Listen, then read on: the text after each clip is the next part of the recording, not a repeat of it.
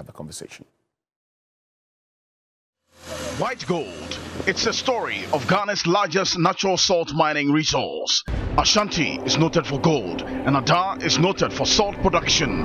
While gold mining has brought significant development to Ghana, the vast salt mining area of Ada is yet to take its place as a significant contributor. On assignment titled The Salt City, Joseph Armstrong Gold Alogbe explores the issues the competing interest in efforts to make Ada Songor one of the largest exporters of salt for the benefit of the people of Ada.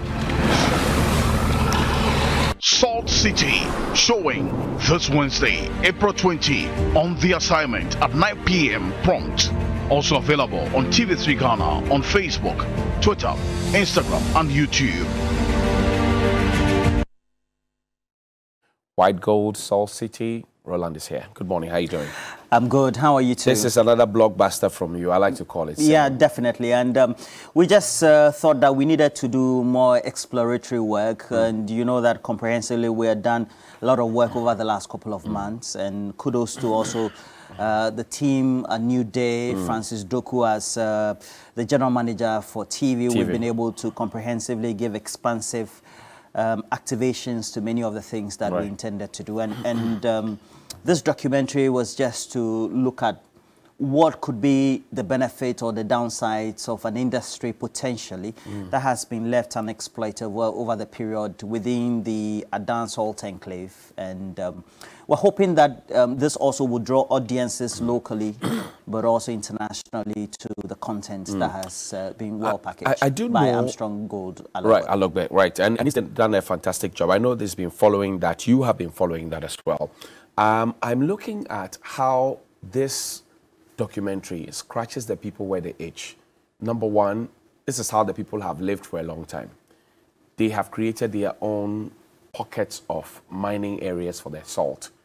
But then there's a bigger conversation as to whether to clear the lagoon, let it flow, so that we can create patches, create a whole industry, and export and expand.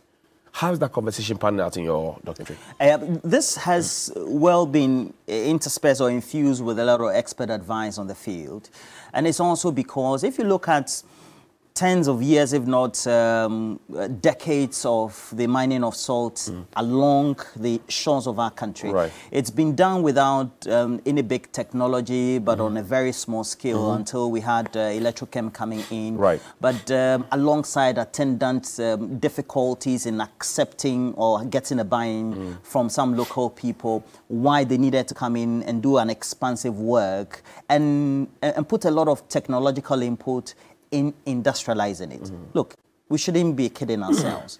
We're living in a, a world where for hydrocarbons and the end derivatives, salt is a big intake That's or right. processes That's for right. this. We have a petroleum Even industry. for refining our oil. Exactly. We have right. a petroleum industry. So if there's going to be a lot of uh, offtake or, or, or, demand for it, why not do it with uh, some great technology? Mm. But of course, also looking at the opinions and sentiments that um, all these evoke among the traditional people in the communities but also looking at the end benefits for everybody else. And, you, and that's you, what we decided you, to you do. mentioned Electrochem, and I know that in the last two years or so, even with the endorsement of Parliament, Electrochem has come up. There's been a lot of traditional agitation against Electrochem. I'm trying to understand what Electrochem is doing, how that sinks in with your documentary, and how that makes the lives of the people better. Because, again, you mentioned the gold mining areas. We have seen people mine gold. They have taken everything away. How are the salt people, white gold, salt city, how are they benefiting? Yes. So we try to juxtapose this with what is happening in the Niger Delta in relation to oil, as far as Nigeria is related. Right. But also trying to do a composite um, uh, intrusiveness or retrospection about how we have an industry, if um, well harnessed, could benefit everybody at the end of the day, the small pockets of industry would need to reach far and international markets. Right. And this is where perhaps uh, the bigger industry and the objective for Electrochem will come in. Mm. But how do we create a better understanding for our audiences, but also the local people, right. to know that if there is some level of collaboration mm -hmm. for mm -hmm. this salt to be harnessed at mm. a, a bigger industrial level, Right. it could benefit the local people by way of the creation of jobs, Mm. which mm-hmm. already exist but mm. will be better harnessed, but also some level of technological inference or uh, practices that could also be uh, translated into knowledge for mm. the local people as well. But also looking at the within the sidelines of what is going to be done, the other benefits that could go in as far as the value chain is concerned. And that is where perhaps we also decided to uh, speak to the local chiefs, speak to the public opinion Are, are they on the same page with, for example, Electrochem? Because this is what Electrochem wants to do. They have been mining salt for a long time in their own way. Somebody comes in and says, I want to do it in this way. Are they on the same page? Yeah, definitely. We know that before this, there, there hasn't been uh, a one-way public opinion in relation to the communities in the involvement of the industrial purposes for which salt needed to be mined. And that is why we decided to go in to look at um, what the pros and cons are, industrial, u- industrial right. Exploration, and then also the small-scale mining as it is. So who is going to benefit at the end of the day? How is it going to be done? And then looking at the sentiments and concerns of those who may not necessarily agree. We do understand, even for uh, when we wanted to start our oil industry, there are a lot of sentiments That's within right, the enclave, right. even though it is 63 nautical miles away from the shores.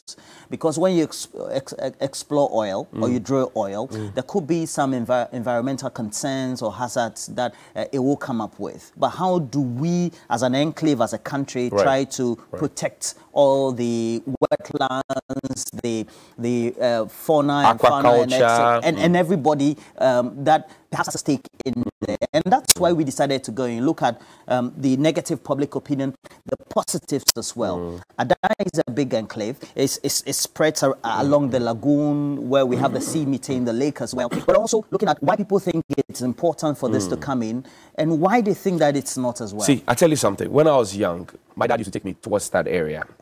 Turtle and tilapia, all those things.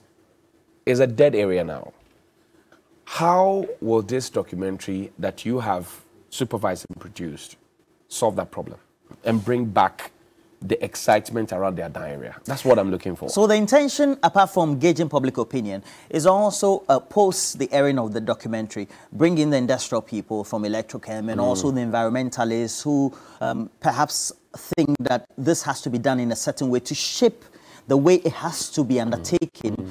So that we don't have concerns being raised years after it's, it's been done. Because no matter what we think, we have the industry that is going to take off it's the electrochem uh, mm. people have been given their approval. Right. The chiefs also either in support or against still exist. Mm. So how do we undertake this um, at activity for, for, for which uh, Holistically. for which it's going to go on for decades, mm. so that the, at the end of the day there's some level of technological transfer. Everybody is satisfied. We don't have a repeat of what mm. has happened to the mining communities, and then everybody also has a certain buy-in on what mm. is going to be done. So it's basically to look I- at I- what, what our concerns are. I've had the opportunity to read a bit of the brief from Parliament post the approval of Electrochem Yeah, and we, we, we did too in the preparation of the script for this.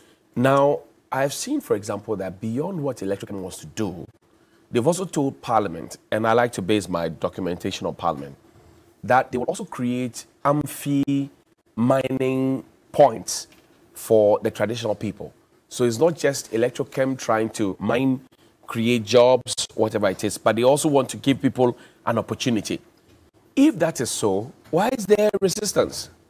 Well, there will always be resistance because, for example, when you take the oil transportation industry that we have in Ghana, uh, there are other derivatives within the value chain or down the lane. Right. Um, and for example, because I grew up in Asham, I know about Billy Billy, etc. But you find somebody who perhaps may get remnants of oil either from tanks, etc., who would also be living on that as a form of existence or earning a living. Right. And that person will put up a nice self-contained, you'll be surprised.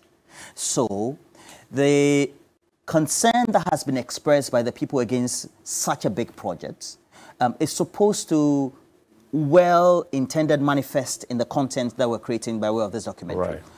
And also looking at how they're also going to benefit undertake the artisanal way of mining salt, Right. while the industrial activity is also ongoing. So we have this ongoing, uh, a big ongoing one, where we can even have uh, exportation of salt from Ghana, which has never happened before.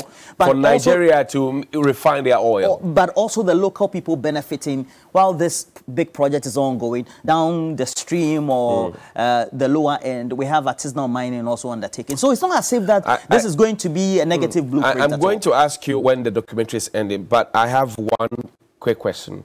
Education. Once industry comes up, children don't like to go to school. They like to go and work there to earn coins. How is this addressing it? Have you, for example, spoken to Electrochem to say we're building schools? I didn't get that detail in the parliamentary document. Yeah, yeah. So, so one of the things that we're trying to do is to not to give a certain focus to uh, the industrial enclave, but also the entity, so that Mm. it doesn't look like we're just doing a documentary that will mm. just promote. No, no, no, Right. no, no, no. But mm. also, you know, shaping the opinions within the discussions that we've had so far prior to the starting of this project it, it has already begun with a lot of investment. So it looks like for those who are against it, they'll have no voice at all. Right. But we also don't want to leave this to posterity, in which the media that is supposed to educate and inform And has done uh, uh, elevate. has, has not aired the sentiments and the concerns about the both people. sides at all. And that's what we've been able to do, so that we hold responsible the, Mm. the various entities or, or, or players within all this drama that we're going to have.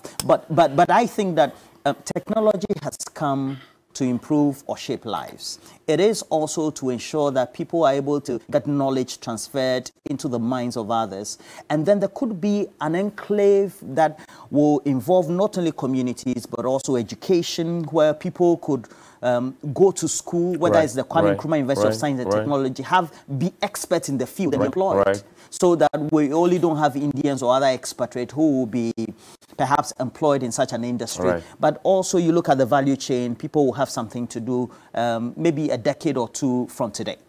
Well, I thank you very much. When is it airing? It's airing Wednesday, 9 p.m. 9 p.m. TV3 across social media platforms as well. Definitely. TV3 Ghana on Facebook, Instagram, and Twitter. And join. And Roland will give you a good job. Always. Always. Uh, always. but again, I have to say that it's by Armstrong Gold, and he knows the area very well. Alogbe. Yes, okay. Armstrong Gold Alogbe. and he, he is the one who put this great piece Yeah, together. yeah. Uh, you look at the shots, and I say that it's a masterpiece.